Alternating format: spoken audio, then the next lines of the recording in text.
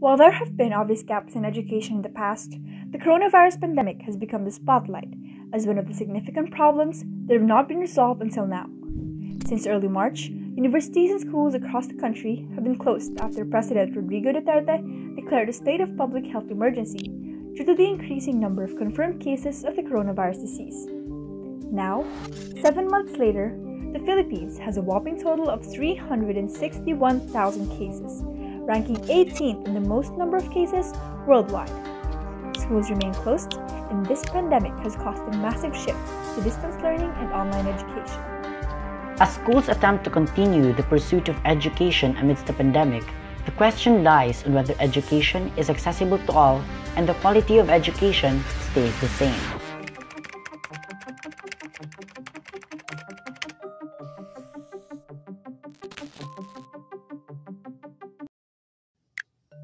On October 5, 2020, the school year opened for public schools nationwide. It welcomed 24.6 million students to unfamiliar modes of learning, which have been set due to the coronavirus pandemic. This number of students is just 80% of last year's enrollees. The remaining 20% are Filipino children who are out of school due to the lack of access to the digital age in education, to work for their family who has lost their jobs, and to be safe given the fear of contracting the virus. The Department of Education, through its Learning Continuity Plan, has shifted the Philippine education to different types of learning delivery options. Face-to-face, blended learnings, distance learnings, homeschooling, and other modes of delivery. However, because of the still increasing number of positive COVID-19 cases nationwide, no face-to-face classes have been conducted.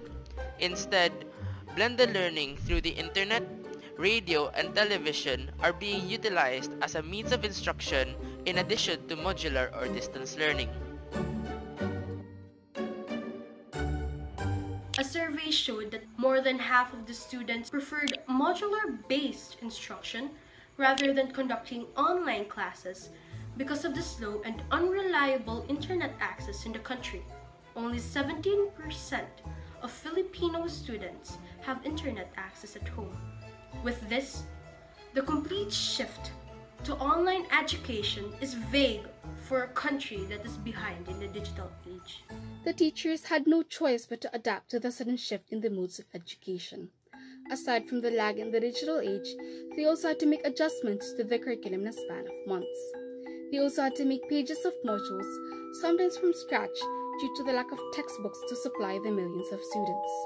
There also have been a mad scramble for remote resources to support the learning of the 24.6 million students enrolled. So some teachers shoulder their own expenses or personally solicit for the reams of bond papers and bottles of inks used. Teachers in some parts of the country also deliver these modules themselves to the remote areas.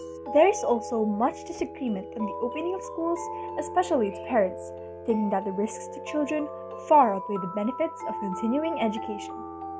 Home learning becomes a heavy burden for parents and guardians who juggle work obligations remotely. Many parents have also been affected by the pandemic in their ability to pay for basic needs, including education, since they lost their job after the implementation of quarantine measures. Furthermore, the parents themselves have to do some learning, studying for months the modules that serve as their children's source of knowledge. Now, imagine those parents from the generations of poverty who are not able to read and write. Along with the shift to this type of learning, students are left with no choice but to self-learn the lessons. Students' workloads are increased every have to be submitted weekly.